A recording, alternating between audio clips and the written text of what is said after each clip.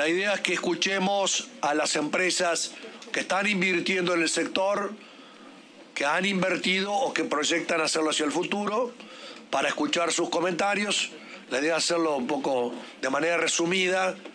Eh, quienes estamos acá presentes somos diputados y diputadas de todos los bloques parlamentarios que integramos las comisiones, por supuesto de todas las provincias argentinas.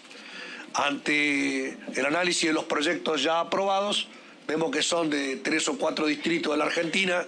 y la expectativa de todos los diputados y diputadas está en que este tipo de proyectos se desarrollen en todas las provincias argentinas. Nuestro país tiene tres premios Nobel en ciencias biomédicas y tenemos que poner en valor todo el trabajo de esos padres de la ciencia